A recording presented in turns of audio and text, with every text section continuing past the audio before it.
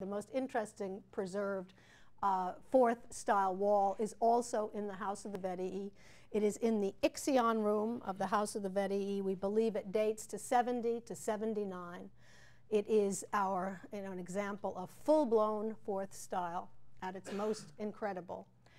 And you know, it's almost as if this artist wanted to be remembered for posterity. We don't know his name, unfortunately, but remembered for posterity as the person who created the textbook example of fourth style Roman wall painting. And what's fascinating about it is what he has done is he has mixed together all of the earlier styles. First, second, third, fourth.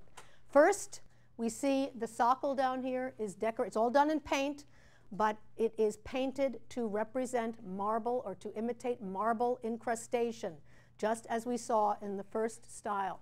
So the marble incrustation of the first style used for the socle, but again in paint, not in relief. The second tier, we see the substantial columns supporting uh, lintels and entablatures with, uh, with um, uh, coffered ceilings represented in depth. That's a second style element. Third style, these uh, panels red with uh, mythological paintings in the center uh, with frames. And over here, a white panel with floral decoration and floating mythological figures. Those are elements of the third style. And the fourth style, reintroduction of architecture in the central zone, fragments of architecture, not full buildings, fragments of architecture depicted in illogical space.